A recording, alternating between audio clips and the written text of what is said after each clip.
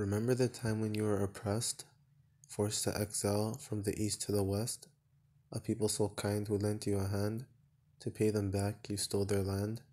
Their children you killed, their women you raped. The joy and happiness from their lives you scraped. How can you sleep with so much blood on your hands? Sparing no hospitals, no schools, no refugee camps. To flee from your evil, they moved to a distance. But your oppression didn't stop there, so they created a resistance. Slowly but surely, the world saw your facade, and you couldn't defend it, so you played the victim card. You utilized your past to justify your present, and to terrorize the future. What's the point of this oppression? Your hatred so strong, you ignored the innocent cries. When confronted, you resort to made up lies. But don't you forget that time often flies? A day is coming when you have to pay the price.